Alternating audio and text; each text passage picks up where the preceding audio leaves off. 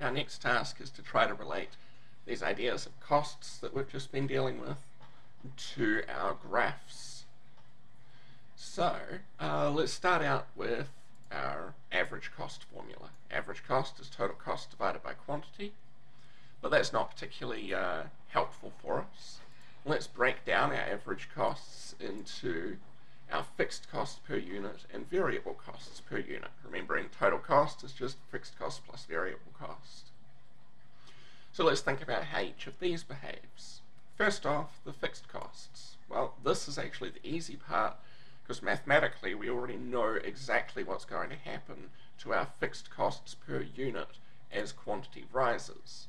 The fixed cost part is going to be staying the same, the quantity part is just going to get bigger and bigger and bigger, and so that'll produce for us this green curve here, this, uh, I guess it's a hyperbola, right? Where it starts off high and gets smaller and smaller and smaller with an asymptote at this quantity axis. It's going to get closer and closer and closer to the quantity axis, uh, but never quite reach it. And this is happening, of course, because we're just dividing by progressively larger and larger and larger quantities, and so our fixed costs get spread over more more and more units. Okay, well what about our variable costs? Well typically, this one's a little bit more debatable, but typically what we find is that as firms get bigger, their variable costs per unit will eventually rise.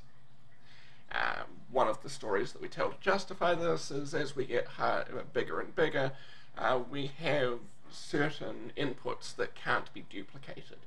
Like, for example, you're running your business. As you get bigger, there's only one of you. We can't hire another one of you. And so, to the extent that this is your business, you care about it more than anyone else, you are running this business because you have particular advantages running this business, we would anticipate that as your business gets bigger, you need to re replace you with more than one of you. Uh, that's going to mean that your cost per unit start to rise as you get uh, bigger and bigger, as your quantity gets larger and larger. Okay, so now we can put those two together. Our average cost, per, our fixed cost per unit starts out big and gets really small eventually. Our variable cost per unit, we don't really have much of an idea about what is going to happen, at, what's what it's going to do at low quantities, but as those quantities get big, it will start to rise. Well, our average cost is just the sum of these two. Adding vertically, because our costs are measured on our y-axis. Then we can add our green and purple curves to get our red curve. Well, what does that mean then that it'll end up looking like?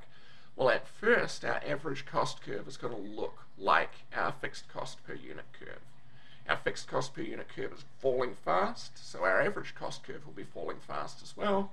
If our uh, variable cost per unit aren't changing very much, and that difference between those two curves is just going to be a constant. But as we get larger and larger, remember these fixed costs per unit go to zero, or at least go asymptotically to zero, arbitrarily close to zero. But remember the difference between average costs and variable costs per unit is our fixed costs per unit. So if our fixed cost is getting very, very small, then our average cost and variable cost per unit must be getting essentially closer and closer and closer together. So then as our quantity rises and rises, our average cost and variable cost curves will just get closer and closer together. So what shape then does that apply for our for our average costs? Well, at first they're falling, eventually they're rising, they must have some point in the middle where they stop, where they stop falling and start rising. And so generally we call this a U-shaped average cost curve.